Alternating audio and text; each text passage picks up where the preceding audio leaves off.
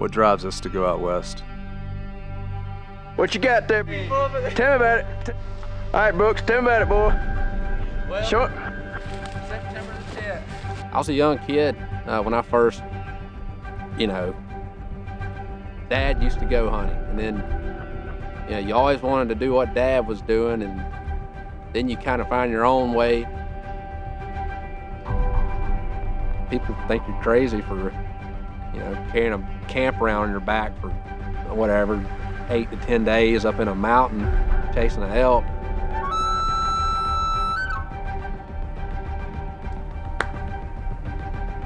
there's not many guys that do it, and that's what makes it, you know, what kind of drives you to want to go do these hunts.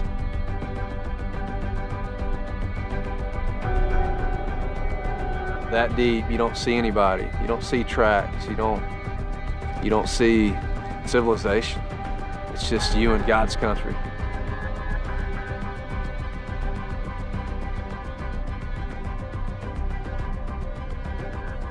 The elk are starting to bugle.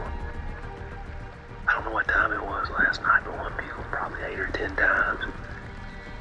And this morning they're starting to bugle a little bit, so I think it'll be a good day. It should be overcast.